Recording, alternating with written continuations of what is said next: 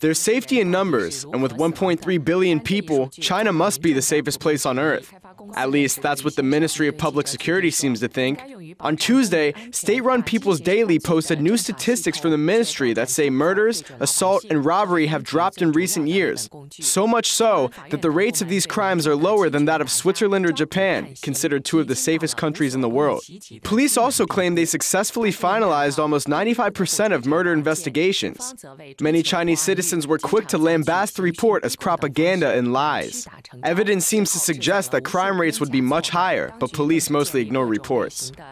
Guangzhou based human rights lawyer Tang Jingling told NTD that funeral parlors there burn several hundred unidentified corpses each year, and there's rarely an investigation into where those corpses come from. In China, a lot of cases have not been placed on file for investigation. I personally have experienced several cases myself, and my brothers and sisters have too. They have encountered this before. Many criminal cases haven't been filed.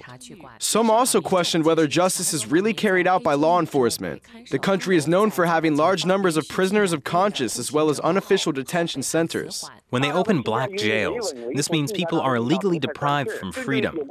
This is what they call crime cases. Do they file these cases? Is there a criminal offense?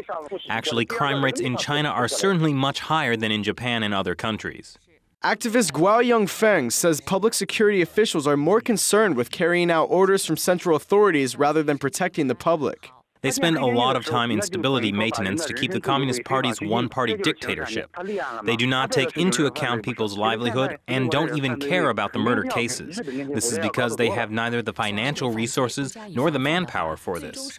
The report by the Ministry of Public Security comes close on the heels of promises by Chinese leader Xi Jinping to stamp out corruption within the party, as well as calls for greater open criticism of the party by the public.